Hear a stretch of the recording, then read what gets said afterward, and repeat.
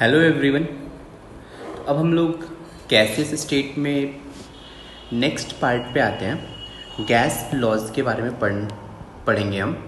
तो हेडिंग दीजिए gas laws means gaseous state में कुछ लॉज हैं।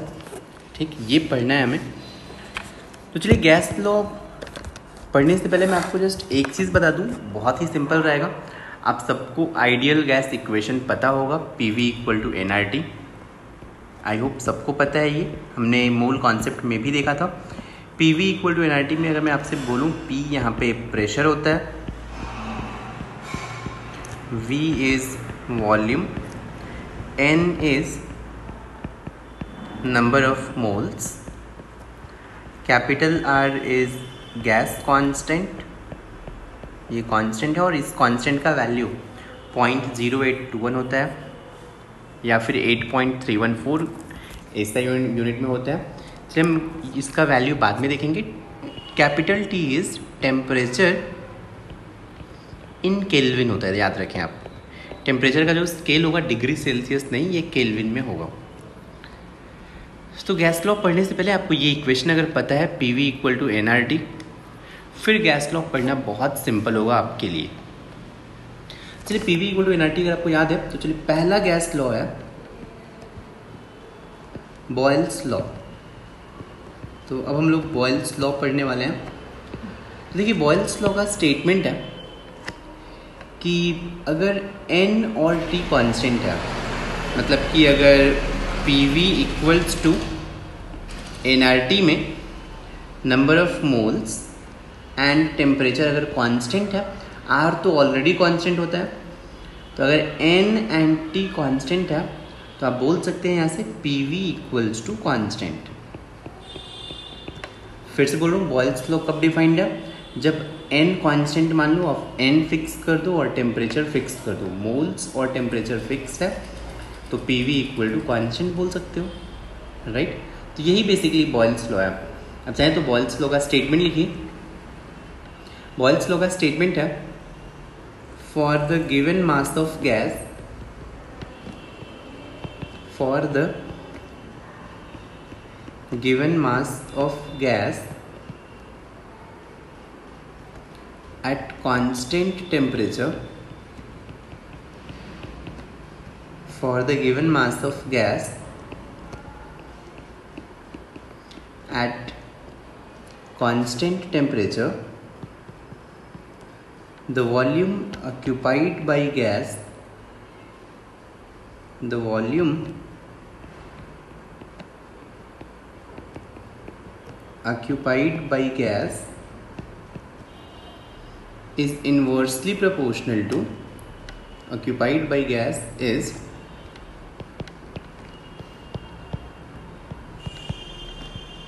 inversely proportional to its pressure. तो ये बॉयल्स लॉ का बेसिकली स्टेटमेंट है, ठीक?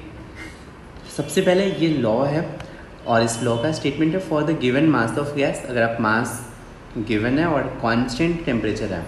मास गिवन है मतलब मोल्स कांस्टेंट है। तो मोल एंड टेम्परेचर कांस्टेंट है तो volume occupied by gas is inversely proportional to its pressure clear है ना? मतलब आप बोल सकते हैं कि मैथमेटिकल टर्म क्या होगा? तो आप बॉयल्स लॉ को मैथमेटिकली डिराइव लिख सकते हैं, mathematically. Volume is inversely proportional to pressure, clear है? कंडीशन क्या होना चाहिए? At constant moles and temperature temperature and moles constant है तो volume is proportional to inversely proportional to pressure right तो आप ये भी बोल सकते हैं, इस प्रपोर्शनैलिटी को अगर हटाना है तो आपको एक कांस्टेंट देना पड़ेगा। तो volume equals to some constant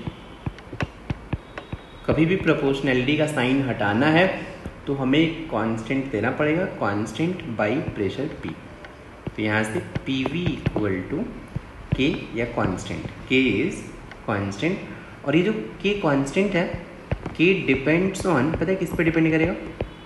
के डिपेंड्स ऑन यहाँ पे मोल्स एंड टेम्परेचर कॉन्स्टेंट हो के depends on moles and temperature simple है? तो अगर मोल्स एंड टेम्परेचर कांस्टेंट है तो आप बोल सकते हो P V equal to constant आप ये बोल सकते हो यार कि पी वन वी वन किसी गैस का प्रेशर पी वन है, वॉल्यूम वी वन है, बाद में प्रेशर पी टू हो गया, वॉल्यूम वी टू हो गया।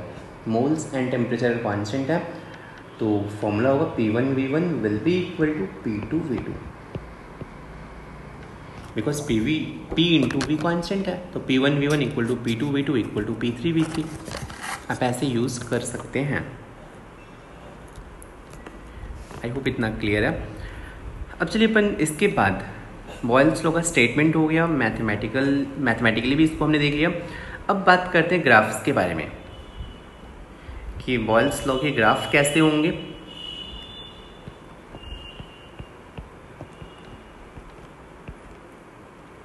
तो यहाँ पे ग्राफ्स के बारे में मैं सबसे पहले आपको बता दूँ कि कुछ स्टैंडर्ड ग्राफ आपको पता होना चाहिए। अपन चलिए रिवाइज कर लेते हैं, कुछ ग्राफ्स रिवाइज कर लेते हैं। Y equals to M X plus C का ग्राफ कैसा होता है? तो आपको पता होना चाहिए कि y equals to M X plus C जो बहुत ही सिंपल से ग्राफ है, मैं वही बता रहा हूँ आपको। तो y equal to M X plus C M यहाँ पे स्लोप होता है सी यहाँ पे y इंटरसेप्ट होता है। कुछ ऐसा होगा? y equal to M X plus C का ग्राफ और ये अगर लेट से थीटा एंगल बना रहा है तो टैन थीटा वो हम स्लोप बोलते हैं tan theta is called slope and यहाँ पे एम होगा राइट और ये जो वाई इंटरसेप्ट दिख रहा है वाई एक्सिस को जहाँ भी कट कर रहा है, ये वाई इंटरसेप्ट है, ये सी होता है। तो Y equal to M X plus C का ग्राफ का नेचर आपको पता होना चाहिए। सेकेंड ग्राफ जो आपको पता होना चाहिए Y equal to M X तो Y equal to M X graph कैसा होता है? तो वाई एंड एक्स में अगर आप ग्राफ प्लॉट करेंगे तो ये Y equal to M X ये ग्राफ ओरिजिन से पास होगा। राइट? और ये जो थीटा एंगल बना रहा है एक्स एक्सिस के साथ तो यहाँ से tan theta is called slope और इसे मैं एम से रिप्रेजेंट करूँगा। तो सेकेंड ग्राफ आपको ये आना चाहिए। Third graph y equals to one by X अगर y and x inverse relation है तो इनका ग्राफ होता है, इस एक्सिस पे y होगा, इस एक्सिस पे x होगा और ये ग्राफ रेक्टेंगुलर हाइपरबोला होगा। मीन्स ऐसा नेचर होगा और इसे बोलते हैं रेक्टेंगुलर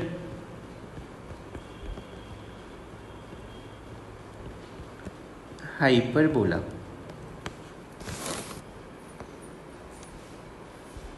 सिंपल है। तो y equal to one by X का ग्राफ थोड़ा आप ध्यान रखें।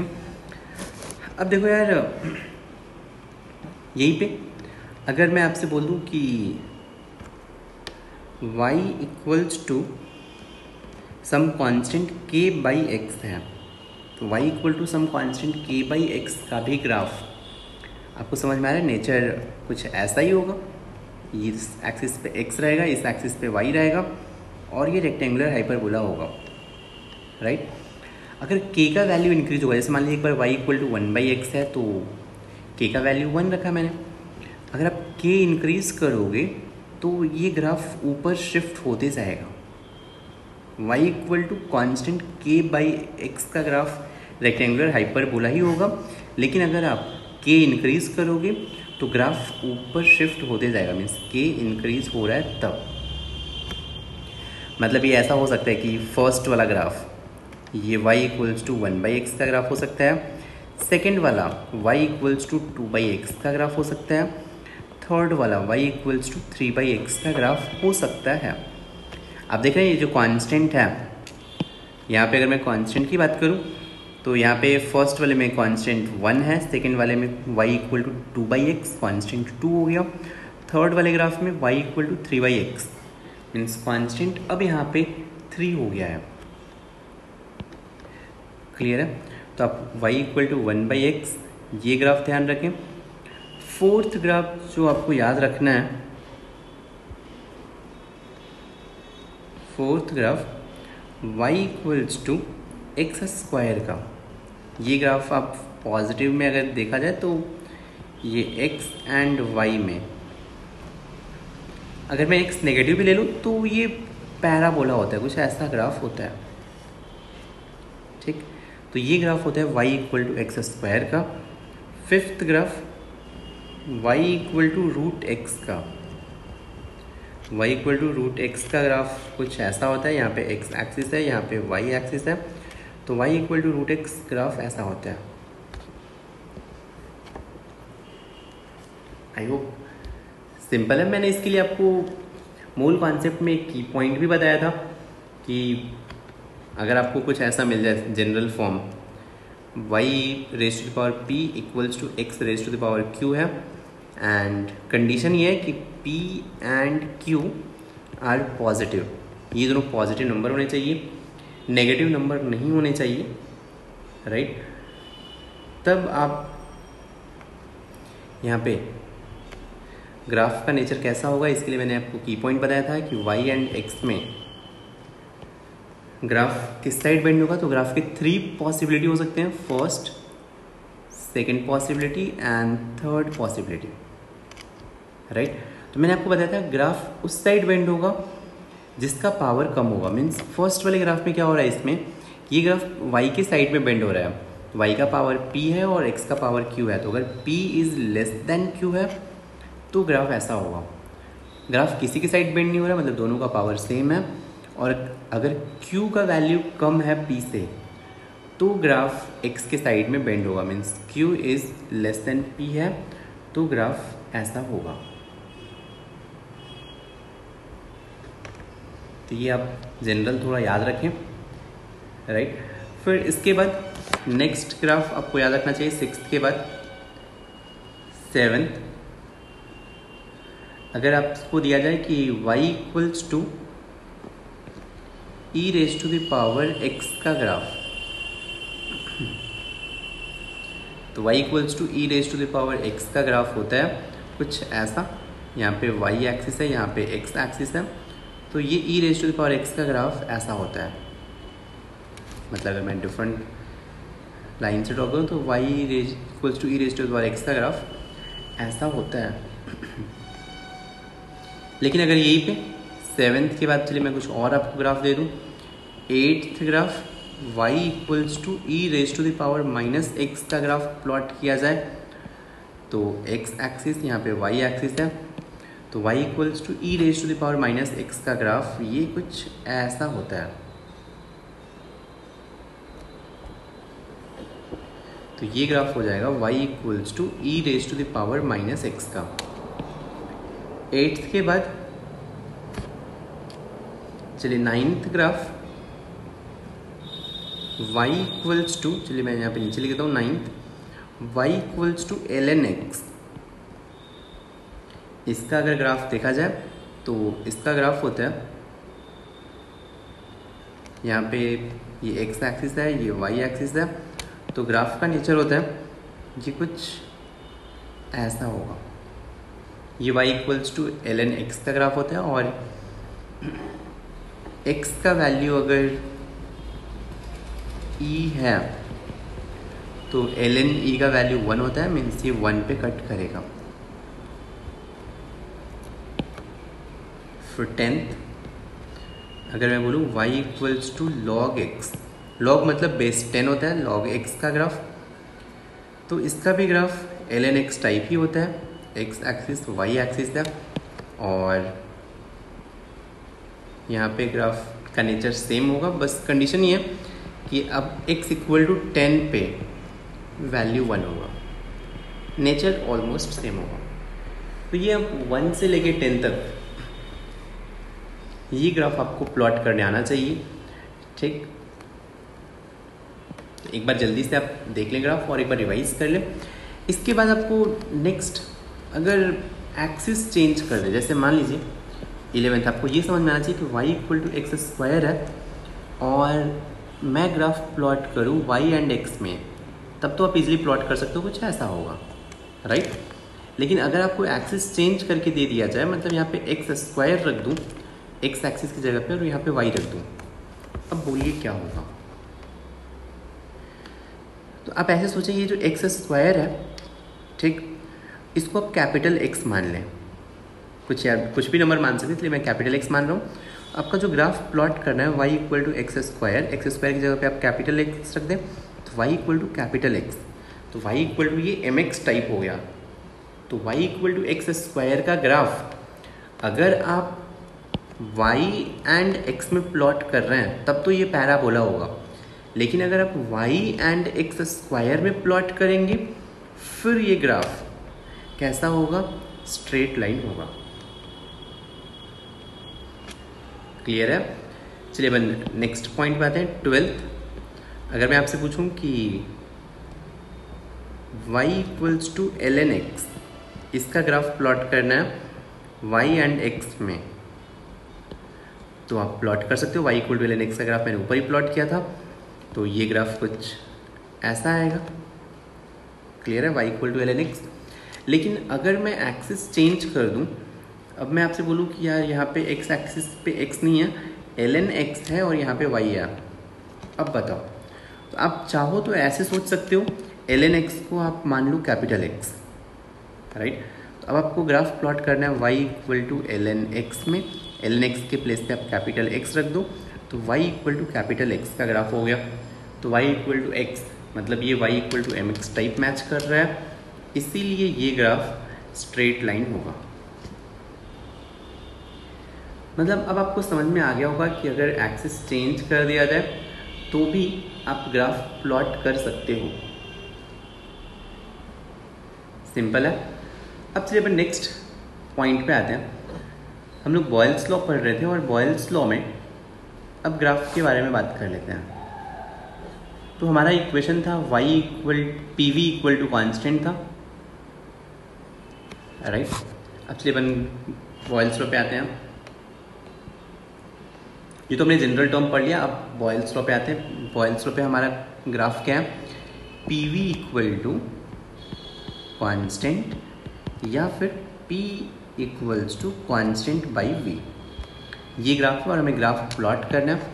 चलिए सबसे पहला ग्राफ जो आपको आना चाहिए first graph pressure and volume में।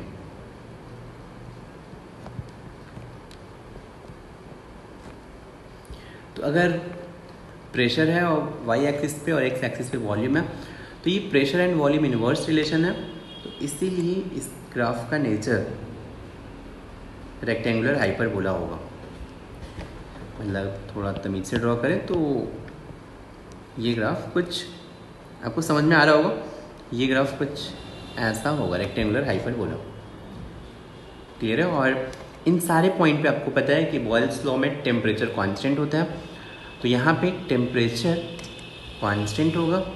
टेम्परेचर इज़ कांस्टेंट और ऐसे ग्राफ जिनमें टेम्परेचर हर एक पॉइंट पे टेम्परेचर कांस्टेंट हो, इनको बोलते हैं आइसोथर्म आइसोथर्म मीन्स ऐसे ग्राफ जिनके हर पॉइंट पे टेम्परेचर क्या होंगे? कांस्टेंट होंगे. चलिए फ़र्स्ट ग्राफ आपको समझ में आ रहा होगा. प्रेशर एंड वॉल्यूम में ग्राफ रेक्टेंगुलर हाइपरबोला होगा. सेकेंड ग्राफ अगर आपको दे दिया जाए pressure and one by V में प्लॉट करना है. अब सोचो क्या होगा। अब कैसे प्लॉट करोगे? आपको पता है pressure equal to k into one by V है। अब आप वन बाई वी को मान लो कैपिटल एक्स लेट से तो वन आपको ग्राफ प्लॉट करना है cap P equals to k into capital X मतलब ये y equal to m x type match कर रहा है क्या? Y equal to m x type तो इस ग्राफ का नेचर कैसा होगा? तो इस ग्राफ का नेचर स्ट्रेट लाइन होगा। क्लियर है? नेक्स्ट पॉइंट पे आते हैं। Third type of graph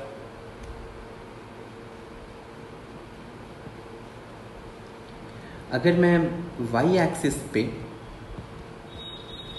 P V ले लूँ और एक्स एक्सिस पे लेते से प्रेशर ले लूँ। आपको पता है P V equal to constant है तो P V equal to constant और y equal to let say constant का ग्राफ आपको पता होगा वाई ऑलवेज कॉन्स्टेंट है। तो वाई इक्वल टू कॉन्स्टेंट का ग्राफ पता है आपको कैसा होता है? वाई इक्वल टू कॉन्स्टेंट का ग्राफ वाई एंड एक्स में ये जस्ट ऐसे स्ट्रेट लाइन होता है। तो P V equal to constant का ग्राफ कैसा होगा? स्ट्रेट लाइन कुछ भी प्रेशर हो पी वी ऑलवेज कॉन्स्टेंट रहेगा। अगर ऐसे ही अगर मैं बात करूँ fourth graph let's say y axis पे पी इंटू वी है और एक्स एक्सिस पे वॉल्यूम है। ग्राफ कैसा होगा? फिर से पी वी कॉन्स्टेंट है तो ये ग्राफ ऐसे ही स्ट्रेट लाइन होगा।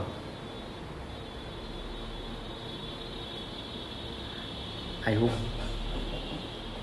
क्लियर होगा। चलिए नेक्स्ट ग्राफ के बारे में बात करते हैं। फोर्थ के बाद फिफ्थ ग्राफ अब आपको प्लॉट करना है वाई एक्सिस पे। मैं पी बाई वी ले रहा हूँ। और x एक्सिस पे वन बाई वी स्क्वायर ले रहा हूँ। अब आपको ग्राफ प्लॉट करना है। सोचिए क्या होगा।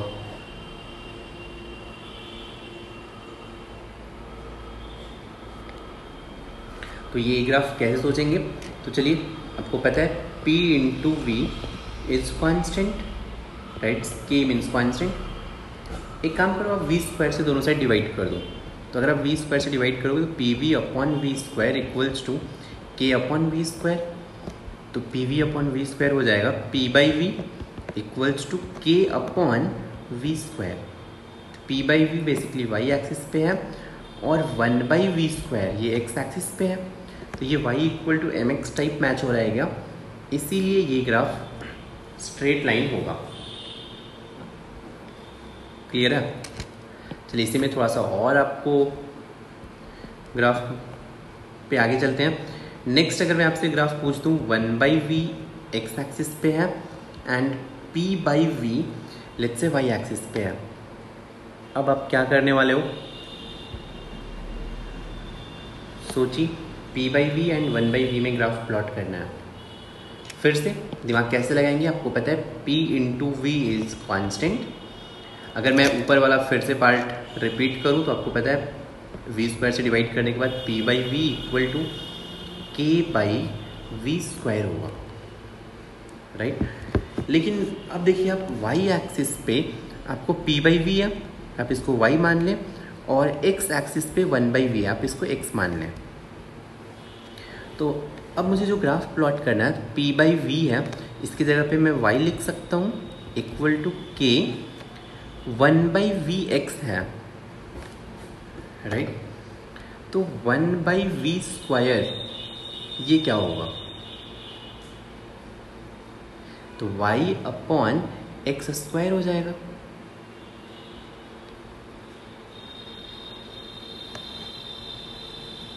ये पॉइंट समझ में आ रहा है क्या?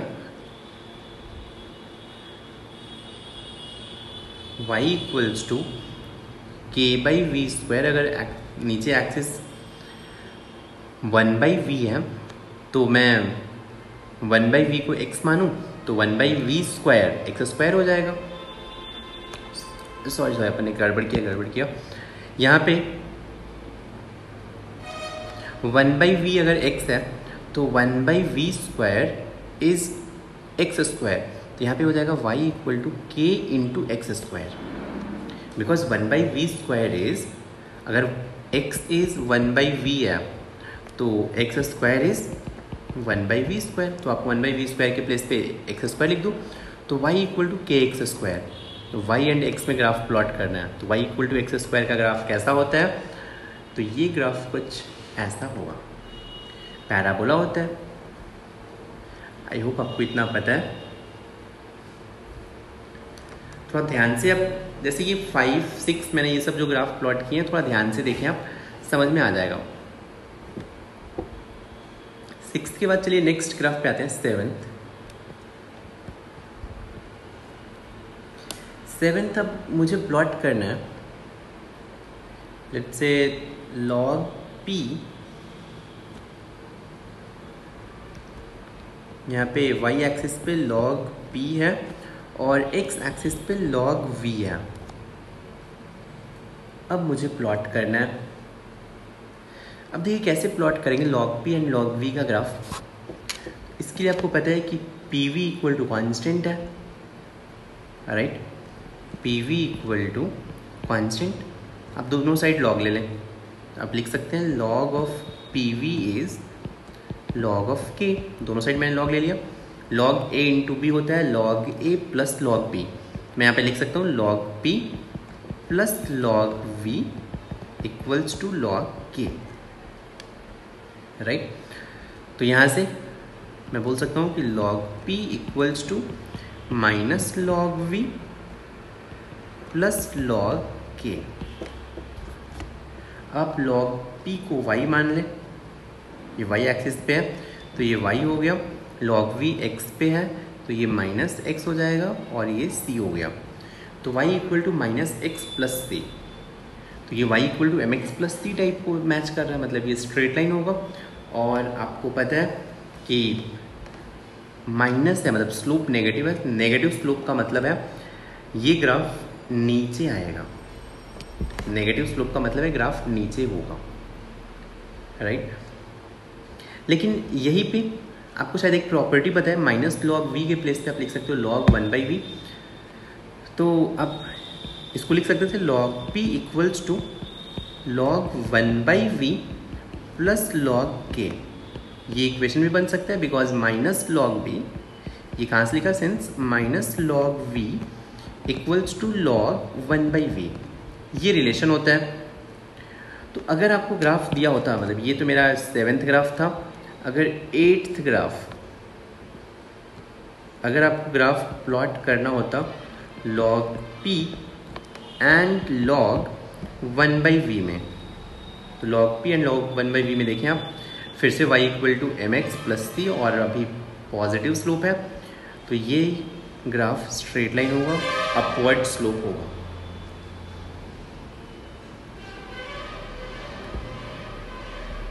क्लियर है? एट्थ के बाद नेक्स्ट पॉइंट आते हैं नाइन्थ ग्राफ अगर पी एंड वी में आपको ग्राफ प्लॉट करना है। पी एंड वी में। आपको पता है P equals to k by V होता है, या P V equal to constant तो ये ग्राफ ऐसे हाई रेक्टेंगुलर हाइपरबोला होगा। अगर कॉन्स्टेंट का वैल्यू इंक्रीज होगा तो ग्राफ ऊपर शिफ्ट होगा। तो ये सारे ही आइसोथर्म होंगे। राइट और ये जो कांस्टेंट है ये कांस्टेंट के डिपेंड्स ऑन किस पे डिपेंड करता है? K depends on moles and temperature temperature increase होगा तो के इंक्रीज होगा। तो मान लीजिए अगर ये सारे ही आइसोथर्म है, पहला अगर टेम्परेचर टी वन के लिए है, दूसरे पे टेम्परेचर टी टू है, तीसरे पे टेम्परेचर टी थ्री है। सारे ही आइसोथर्म है फ़र्स्ट वाले ग्राफ का टेम्परेचर टी वन है, सेकेंड वाले ग्राफ का टेम्परेचर टी टू है, थर्ड वाले ग्राफ का टेम्परेचर टी थ्री है।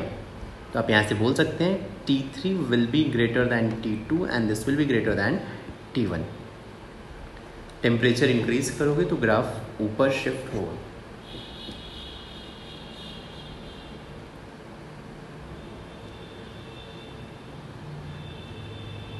सिंपल है। चलिए, ये था ग्राफ। हमने देखा। राइट और आपको एक सिंपल सा क्वेश्चन और है। नाइन्थ पर चलिए टेंथ ग्राफ। अब आपको ये आंसर बताना है। मैंने लॉग पी और लॉग वन बाई वी में log one by V and log P में ग्राफ प्लॉट किया जैसे थ्री ग्राफ मैंने प्लॉट किया। Log P and log one by V में आपको पता है, ग्राफ स्ट्रेट लाइन होता है। First let's say temperature T one है सेकेंड टी टू है थर्ड टेम्परेचर टी थ्री है। आपको बताना है कि T one T two T three में कौन सा टेम्परेचर ज़्यादा होगा? इफ़ मोल्स इज़ कॉन्स्टेंट मतलब आपको बताना है कि इफ़ मोल्स इज़ तीनों के ग्राफ के लिए मोल कांस्टेंट है। If moles is constant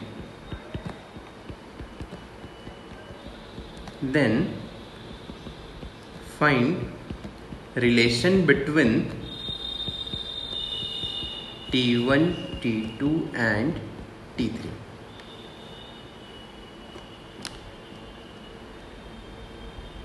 सोचिए आप।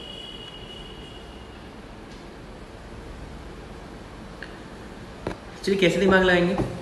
तो आपको पता है कि log P and log one by V में अगर मैं इक्वेशन देखूँ final equation P V equal to constant होता है और आप दोनों साइड लॉग लेके फाइनल इक्वेशन लगाएँगे तो log P equals to log one by V plus log K आता है।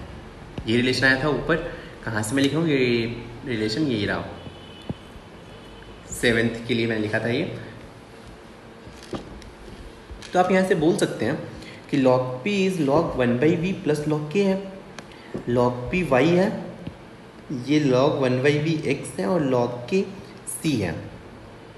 राइट और आपको पता है वाई इंटरसेप्ट सबसे ज़्यादा किसका है? टी वन के लिए वाई इंटरसेप्ट सबसे ज़्यादा है, फिर टी टू है, फिर टी थ्री है। टी वन का अगर वाई इंटरसेप्ट ज़्यादा है तो टी वन का ज़्यादा होगा। राइट तो ये जो कांस्टेंट है टी वन के लिए अगर कांस्टेंट के वन है तो K one is greater than K two and K two is greater than K three because Y intercept आपको ग्राफ से दिख रहा होगा clearly Y intercept first T one temperature के लिए वाई इंटरसेप्ट सबसे ज़्यादा है, फिर Y intercept T two temperature के लिए ज़्यादा है, और फिर टी थ्री टेम्परेचर के लिए है। तो टी वन टेम्परेचर के लिए अगर वाई इंटरसेप्ट ज़्यादा है वाई इंटरसेप्ट लॉग के होता है, और लॉग के सबसे मैक्सिमम है टी वन के लिए तो आप बोल सकते हो के वन ज़्यादा होगा।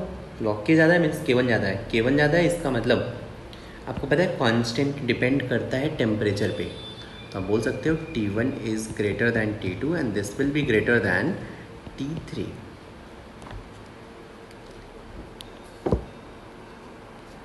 simple है। चलिए ये हमने बॉयल्स लॉ का ग्राफ देखा राइट अब ग्राफ के बाद नेक्स्ट पार्ट पे आते हैं अब न्यूमेरिकल्स पे।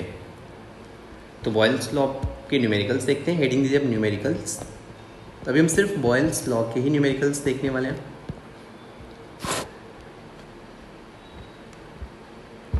चलिए फ़र्स्ट क्वेश्चन है। बहुत ही सिंपल सा क्वेश्चन रहेगा। फ़र्स्ट ये स्टार्टर है। लिखिए कि चलिए मैं क्वेश्चन लिखता हूँ यहाँ पे certain mass of gas certain mass of gas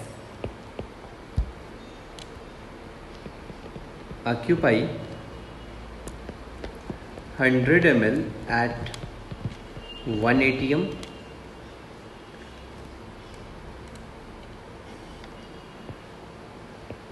what should be what should be the volume of what should be the volume of the gas what should be the volume of gas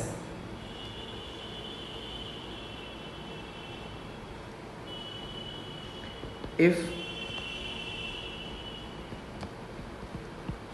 pressure is decreased to 0.5 atm isothermally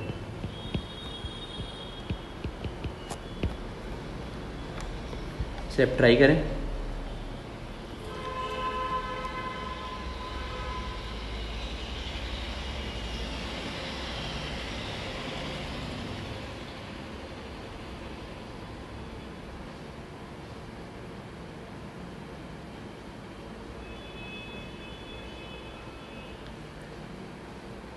चलिए इसका answer देखते हैं। यहाँ पे सोचें कि कोई certain mass of gas है, ये 100 एम मतलब वॉल्यूम V1 दिया है आपको। V1 is 100 M and P1 initial pressure one 180 M है आइसोथर्मली है मतलब टेम्परेचर कांस्टेंट है। और फाइनल वॉल्यूम बताना है आपको V2 फाइंड करना है एंड फाइनल प्रेशर गिवन है 0.5 एटीएम तो यहाँ पे मोल्स एंड टेम्परेचर कांस्टेंट है। राइट तो for fixed moles and temperature आप बोल सकते हो P one V one equals to P two V two और पी वन आपको पता है one A T M volume hundred M L P two point five A T M volume V two कितना हो जाएगा? V two will be hundred by point five कितना हो जाएगा? टू हंड्रेड एम एल ये हमारा फाइनल आंसर हो जाएगा। क्लियर है। चलिए फिर नेक्स्ट क्वेश्चन पे आते हैं।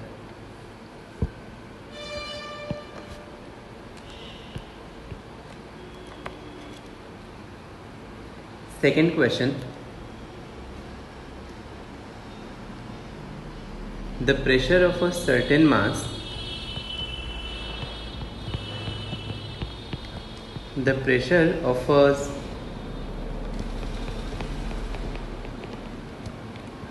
certain mass of a gas the pressure of a certain mass of a gas is increased by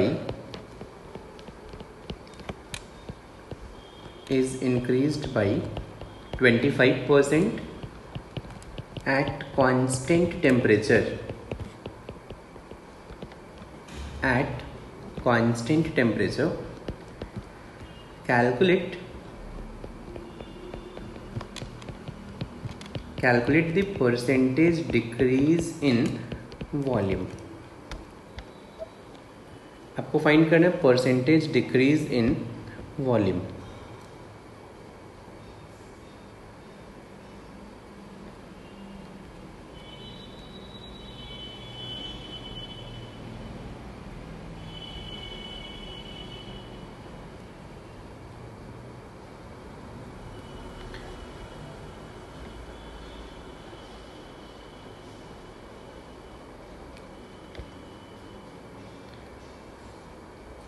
सोचिए यहाँ पे क्या करना होगा आपको? आपको प्रेशर दिया है स्टार्टिंग में और 25 परसेंट से इंक्रीज हो गया प्रेशर राइट आपके पास दो मेथड है, आप चाहो तो चलो मान लो कि इनिशियल प्रेशर को सॉल्व करना है। सॉल्यूशन देखते हैं इसका। मान लीजिए कि let initial pressure is let's say P right और ये भी मान लेते हैं कि initial volume let's say V है। तो अगर प्रेशर 25 परसेंट से इंक्रीज होगा तो फाइनल प्रेशर क्या होगा? तो final pressure let's say P two है P two will be 25 percent से इंक्रीज हो गया तो P plus twenty five by hundred into P इनसे हो जाएगा 1.25 पी ये फाइनल प्रेशर हो गया। तो फाइनल वॉल्यूम V2 क्या होगा? पहले बता सकते हो? आप देखिए यहाँ पे कि टेम्परेचर कांस्टेंट है और सर्टेन मास लिखा है। मतलब certain mass of gas means mass भी कांस्टेंट है। तो आप यूज़ कर सकते हो। P V is constant means P one V one equals to P two V two तो आप इनिशियल प्रेशर P है इनिशियल वॉल्यूम V है फाइनल प्रेशर 1.25 P और फाइनल वॉल्यूम नहीं पता है तो यहाँ से आपको फाइनल वॉल्यूम मिल जाएगा। फाइनल वॉल्यूम इज़ पी से पी कैंसिल हो गया। V by one point two five ये हो गया फाइनल वॉल्यूम। तो चेंज कितने का हुआ?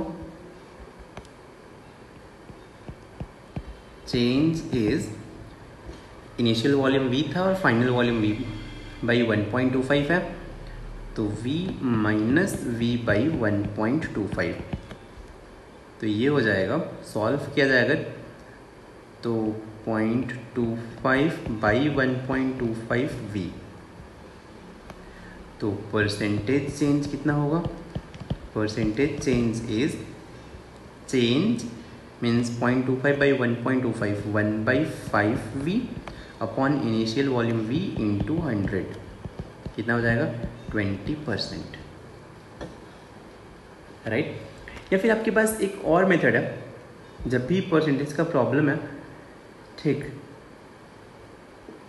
तो आप ऐसे सोचें कि लाइक हंड्रेड मान लें आप। जैसे मान लें कि इनिशियल प्रेशर हंड्रेड था। सेकेंड मेथड ये है, जो मैं प्रिफर करता हूँ। सेकेंड मेथड अब मान लें कि initial pressure P one hundred है और वी वन भी हंड्रेड है। तो फाइनल प्रेशर कितना हो जाएगा? ट्वेंटी फाइव परसेंट से इंक्रीज हो गया तो हंड्रेड का ट्वेंटी फाइव ट्वेंटी फाइव तो हंड्रेड था और ट्वेंटी फाइव इंक्रीज हो गया तो one twenty five final volume कितना होगा? तो P one V one equal to P two V two तो यहाँ से hundred into hundred equals to one twenty five into volume V two तो V two is hundred into hundred by one twenty five four five twenty means कितना हो गया? Final volume eighty हो गया. तो पहले हंड्रेड था वॉल्यूम अभी एट्टी हो गया. कितने से डिक्रीज हुआ? ट्वेंटी से डिक्रीज हो गया। तो हंड्रेड में जितना ही डिक्रीज होगा, वो परसेंटेज डिक्रीज होगा। तो ट्वेंटी परसेंट से डिक्रीज होगा। तो हंड्रेड से कैलकुलेशन से फ़ायदा क्या होता है? कि आपको परसेंटेज निकालना नहीं पड़ता है। जो भी आंसर है, वो परसेंटेज ही है। राइट चलिए फिर नेक्स्ट प्रॉब्लम पे आते हैं।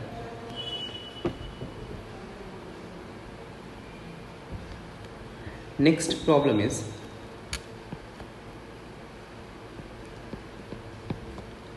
next question है कि a vessel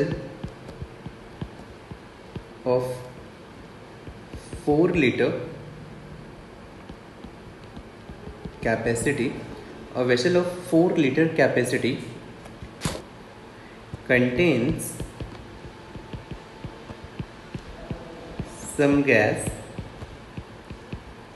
at twenty bar let's say at 20 atm a vessel of 4 liter capacity contains some gas at 20 atm or next it is connected to another vessel to another evacuated या empty वैसे लिख दो it is connected to another empty vessel of unknown volume इसका volume नहीं पता है। Right and if final pressure is connect करने के बाद हमने देखा कि if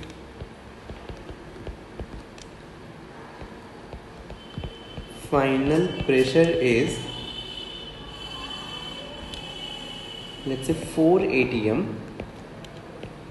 find the volume of unknown vessel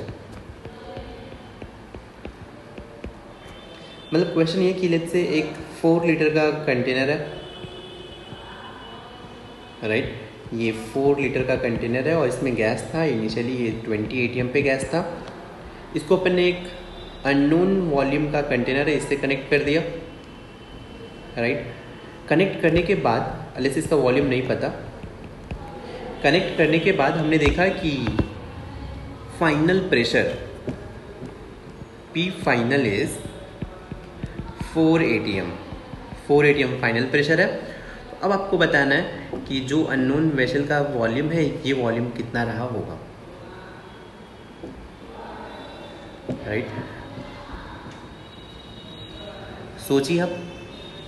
तो आप ऐसे सोचें कि देखो यार, फिर से जब स्टार्टिंग में आप ऐसे दिमाग लगाओ इनिशियली इस कंटेनर में लिक्विड था सॉरी लिक्विड बोल रहा हूँ गैस था। उस गैस का वॉल्यूम पता है मीन्स आपको इनिशियल प्रेशर पता है initial pressure P one is 20 atm initial volume V1 is four litre, ये है। जैसे ही आपने इसको दूसरे कंटेनर से कनेक्ट कर दिया तो अब जो गैस होंगे, ये गैस इस टोटल कंटेनर में फिल हो गया। राइट और टोटल कंटेनर में फिल हो गया। आप सोचो टोटल वॉल्यूम क्या होगा। मान लेते हैं कि अनदर वेसल का वॉल्यूम वी है। और स्टार्टिंग में कंटेनर का वॉल्यूम फोर लीटर था। तो फाइनल वॉल्यूम क्या हो जाएगा? V two will be four plus V litre और फाइनल प्रेशर आपको दिया है P two is four A T M right अच्छा आपको मानना है कि ये जो कनेक्ट हुआ है connected to other empty vessel ये टेम्परेचर यहाँ पे कांस्टेंट है right final pressure is four A T M आप यहाँ पे एक लिख सकते हैं चाहो तो एट कॉन्स्टेंट टेम्परेचर ठीक ना? मतलब ये थोड़ा ध्यान रखें कि यहाँ पे ये कांस्टेंट टेम्परेचर है। If final pressure is four A T M at constant temperature temperature यहाँ पे चेंज नहीं हो रहा है, ये गिवन है। ठीक, तभी आप सॉल्व कर सकते हैं। अब टेम्परेचर कांस्टेंट है मोल्स कांस्टेंट है तो आप इक्वेशन यूज़ करें। कौन सा? P one V one equals to P two V two और पी वन है ट्वेंटी वी वन है four final pressure is four into final volume is four plus V four से फोर कैंसिल तो यहाँ से v equals to sixteen litre ये answer मिल गया। चलिए अपन नेक्स्ट क्वेश्चन पे आते हैं।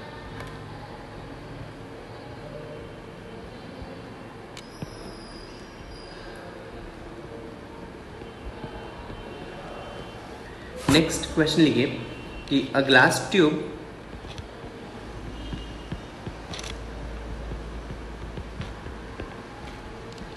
a glass tube of uniform cross section a glass tube of uniform gross cross section is kept horizontally as shown in the figure as shown in the figure means figure में आपको कुछ ऐसा दिया है कि लेट्स से यहाँ पे container है और ये ग्लास ट्यूब हो गया और यहाँ पे कुछ ऐसा डायग्राम है। तो यहाँ पे ये एयर है और ये इसमें एच जी फ़ील्ड है। राइट और एयर का फिर से यहाँ पे लेंथ गिवन है आपको।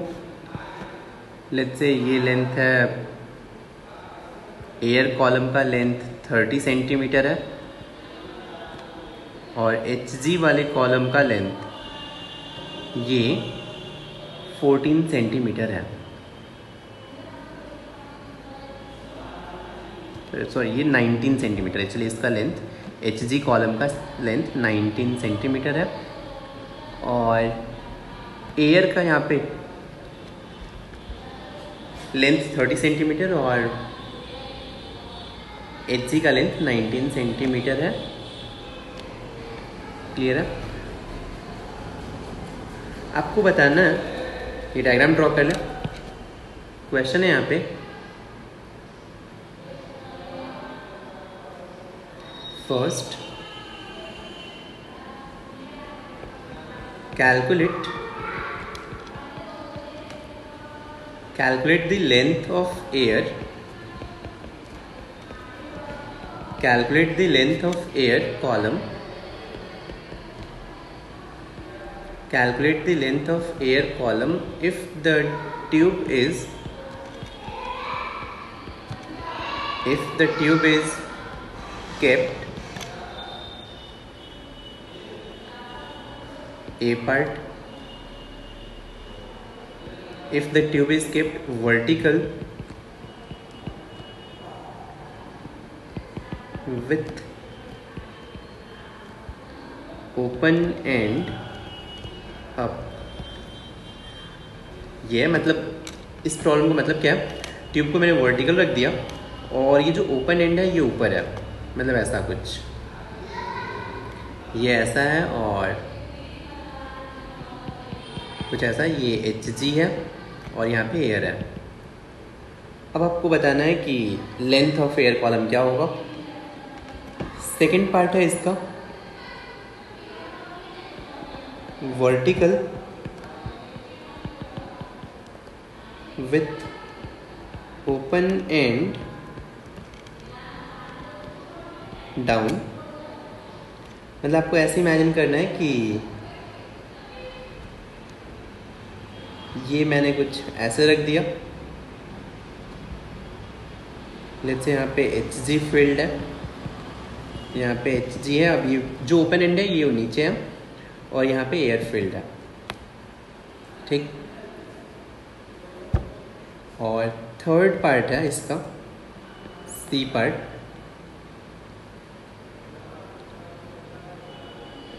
at an angle of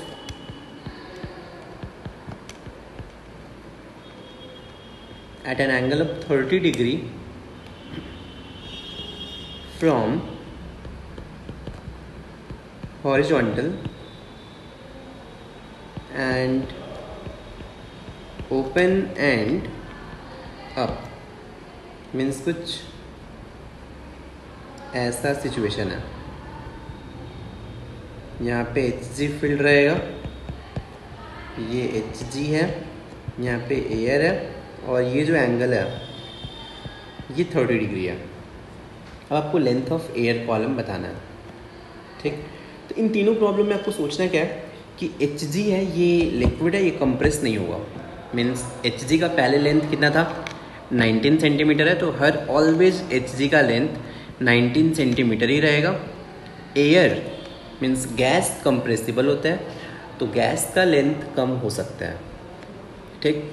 और सेकेंड पॉइंट जो आपको ध्यान में रखना है, जो भी पार्ट एटमॉस्फेयर में ओपन है, उसका प्रेशर वन एटीएम होता है। मतलब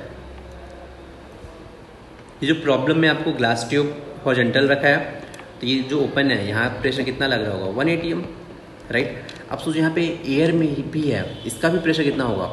वन एटीएम ही होगा बिकॉज़ सेम लेवल पे है फ़र्स्ट पार्ट में राइट अब अगर मैं प्रॉब्लम पे हूँ calculate the length of air column if the tube is kept vertical with open end up तो जो पार्ट ओपन है एयर में, इसमें प्रेशर कितना लग रहा होगा? वन एटीएम लग रहा होगा। क्लियर है? अब आपको बताना है एयर का लेंथ कितना होगा। बी पार्ट में नीचे का प्रेशर वन एटीएम होगा। आपको ये मानना है कि बहुत नैरो ट्यूब है, इसमें से एच जी कॉलम नीचे नहीं गिर रहा है, ठीक ना? सी पार्ट में ये जो यहाँ पे प्रेशर वन एटीएम है, अब आपको सॉल्व करना है एयर का लेंथ कितना होगा।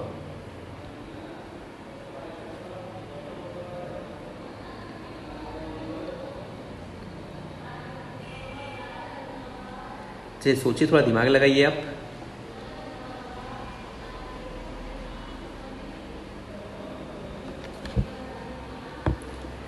चलिए, अगर मैं फ़र्स्ट पार्ट सॉल्व करूँ, इसका सॉल्यूशन अगर आपको बताऊँ, आप एक काम करें, चाहे तो टू थ्री मिनट्स के लिए वीडियो पॉज कर लें और खुद से सॉल्व करें पहले तीनों पार्ट फिर इसका सॉल्यूशन देखें। चलिए, इसका सॉल्यूशन देखें फ़र्स्ट पार्ट का।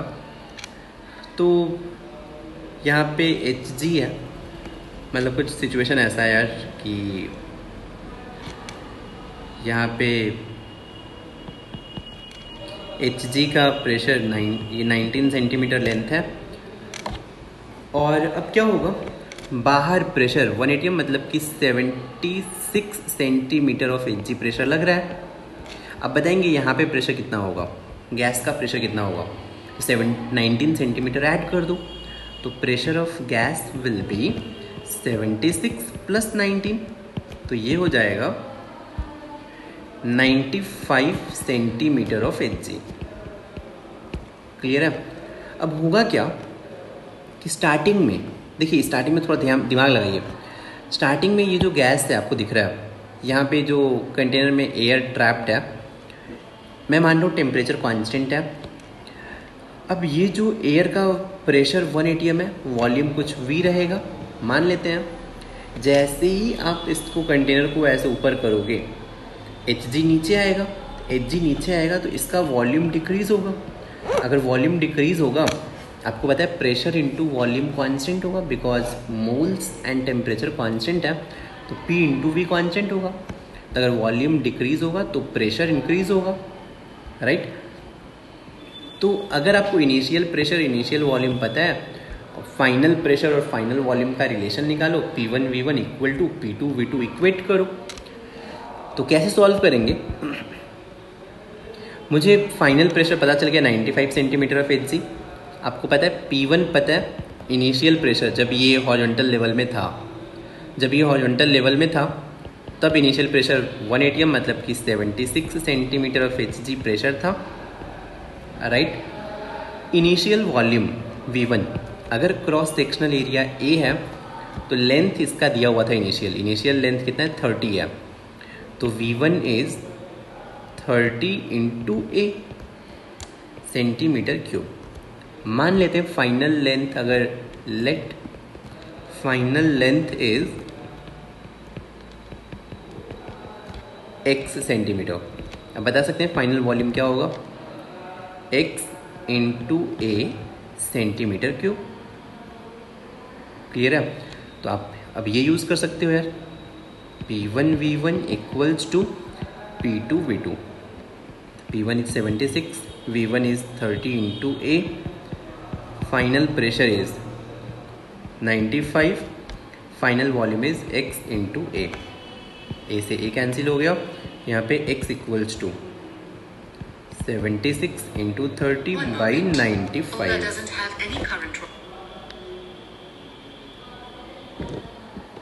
clear है।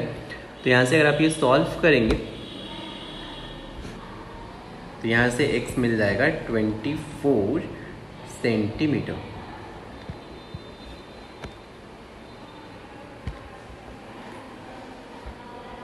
right right. तो ये है हमारा फ़र्स्ट पार्ट अब ऐसे बी पार्ट सोचिए आप।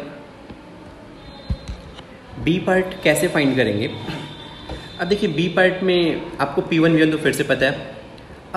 वन एटीएम है और आप बी पार्ट में ऊपर जाना है आपको।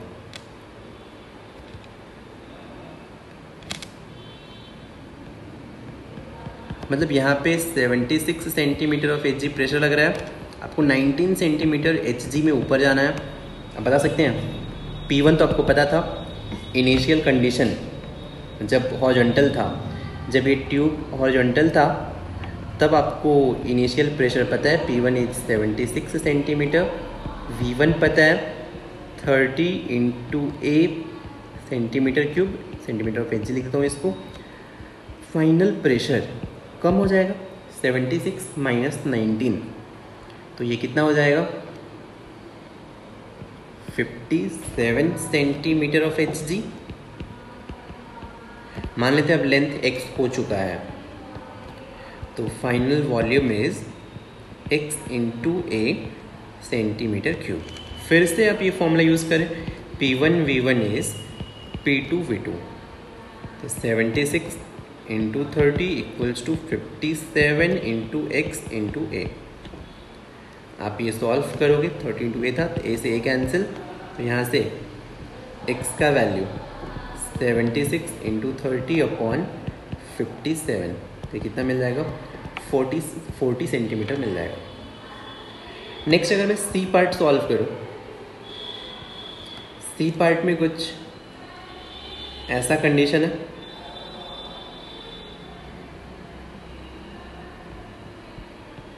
Right right? अब आपको दिमाग लगाना है कि यहाँ का प्रेशर 76 सेंटीमीटर है। ठीक? और आपको एक चीज़ पता है कि ये एंगल 30 डिग्री है। राइट? आपको पता है लिक्विड में सिर्फ़ वर्टिकली डाउनवर्ड आओगे, तभी प्रेशर इंक्रीज होगा। हॉर्जेंटल लेवल में प्रेशर चेंज नहीं होता है। तो ऑल दो यहाँ पे एच का लेंथ 19 सेंटीमीटर है, ये लेंथ ये जो लेंथ है एच का, ये 19 सेंटीमीटर है। लेकिन मुझे 19 सेंटीमीटर से मतलब नहीं है, मुझे चेक करना है वर्टिकल लेंथ कितना होगा, ये लेंथ कितना होगा। Right right? ये ये लेंथ मान लो अगर ये एक्स है तो आप कैसे फाइंड करोगे? यार, आप ये एक्स फाइंड करना है। ये लेंथ 19 है। मैं क्या बोल रहा हूँ? ये लेंथ 19 है, ये लेंथ एक्स है और ये एंगल 30 डिग्री है। Right right? आप बोल सकते हो यार कि sine thirty equals to X by nineteen X equals to nineteen sine thirty तो ये x कितना हो जाएगा? 19 sine thirty one by two होता है तो ये हो जाएगा 8.5 तो आपको फाइनल प्रेशर मिल गया। पी टू इज़ 76 प्लस 8.5 तो ये हो जाएगा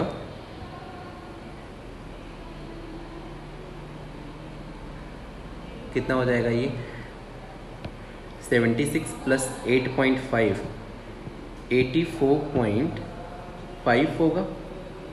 सॉरी 8.5 नहीं 9.5 राइट तो ये हो जाएगा 85.5 सेंटीमीटर ऑफ़ एच ये फाइनल प्रेशर हो गया। आपको पता है इनिशियल प्रेशर P1 76 था right initial volume 30 into A था फाइनल वॉल्यूम मान लो लेंथ फाइनल x हो चुका है तो x इंटू ए है। आप फिर से यूज़ करो P one V one equals to P two V two तो seventy six into thirty A equals to eighty five point five into final volume is X into A A से cancel तो यहाँ से X मिल जाएगा। Seventy six into thirty upon eighty five point five centimetre ये हो गया final answer clear है? चलिए फिर मैं आपको एक प्रॉब्लम दूँगा होमवर्क में तो आपको वो ग्रुप पे सबमिट करना है।